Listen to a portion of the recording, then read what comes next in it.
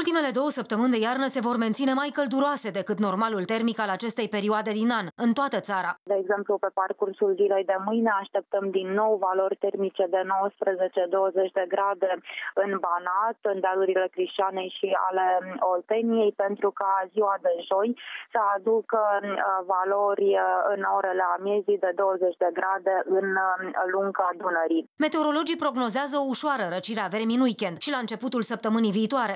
Atunci atunci valorile termice vor scădea cu până la 5 grade Celsius, atât ziua cât și noaptea. Pot apărea și temperaturi sub 0 grade pe timpul nopții în nordul, centrul și nord-estul țării. Cât despre precipitații, umbrela ar putea să fie indispensabilă. Probabilitatea de apariție a ploilor va fi mai mare în perioada 22-24 februarie, dar și în jurul datei de 28 februarie și de asemenea, din păcate, și în jurul datei de 1 martie. Pe fondul scăderii valorilor termice de la sfârșitul acestei săptămâni și în primele zile ale săptămânii viitoare, este posibil uh, să-și facă apariția precipitațiile mixte nu numai la munte, dar și în Maramureș, în Transilvania și în zona Moldovei.